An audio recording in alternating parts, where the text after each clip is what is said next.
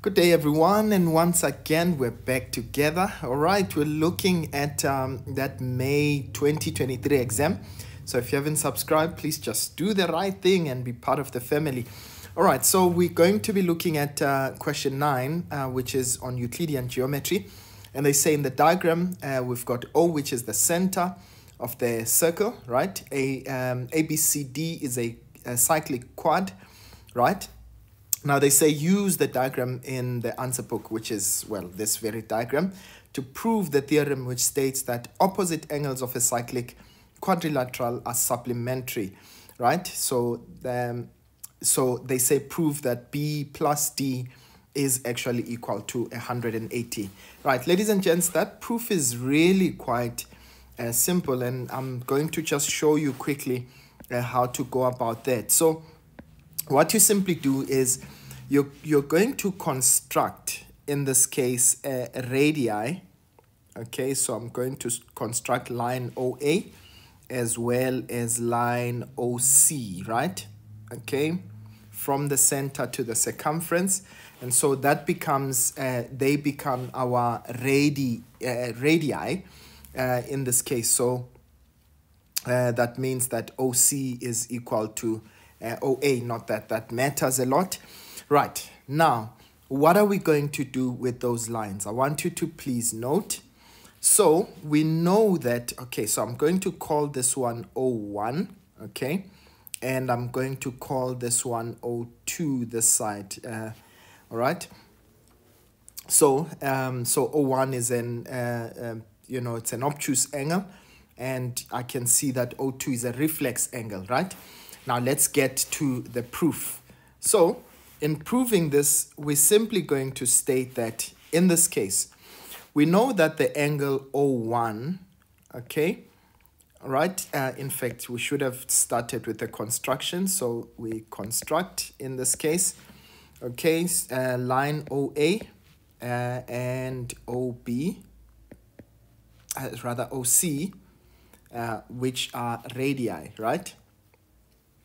Okay, so in this case, we simply are going to say, well, line uh, or rather angle O1, okay, will be equal to 2 times angle B.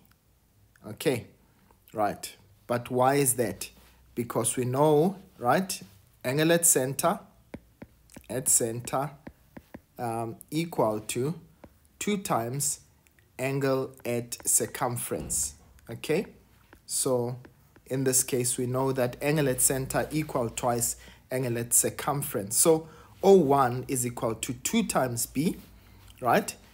But we also know that angle O2 is equal to 2 times angle D isn't it? Right? Again it's the same um, proof that is I mean uh, the same reason right but now we know that O1 plus O2, right? This is a revolution, okay? So we know this is the sum of angles, okay, um, on a revolution. In this case, that would be equal to 360, right? So um, we know that O1, angle O1 plus angle O2 will give us 360 right? So which is in this case uh, rather the reason. So that's angle uh, on a revolution, okay? Or you can say uh, angles around a circle or angles around a point, all right? So in this case, we know that O1 plus O2 gives us 360. So which means that 2D, uh, 2B plus 2D uh, gives us 360, right? So the, which means now we can actually take out uh, 2 um, as a common factor. So b plus d, this would be equal to 360. I'm sure you can see if we divide both sides by 2, um, then we get b plus d, okay, being equal to 180.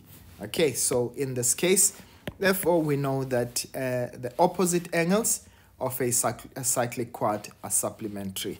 Okay, so therefore, uh, we know that opposite angles of a cyclic quad are supplementary, meaning that they equal 180. Okay, so I'll be back again uh, with another part, um, you know, Euclidean geometry. Of course, we're still going to do a bit of trig. So uh, stay tuned uh, throughout the day. I will be giving these as a part of our revision. I'll see you guys next time. Shap, shap.